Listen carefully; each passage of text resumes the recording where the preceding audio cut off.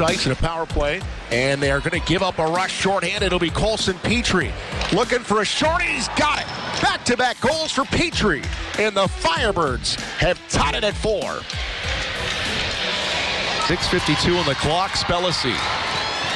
Stop by Day. Well, Day, the veteran, reads that all the way, stays poised.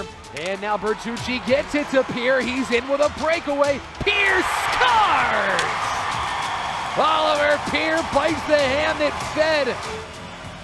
That's a shorthanded goal for Oliver Pierre. And could you have more room at the blue line? Can't hold it. Slavy checks away with it. On for Dann. He's in. Nolan Dann to the backhand. What a movie! He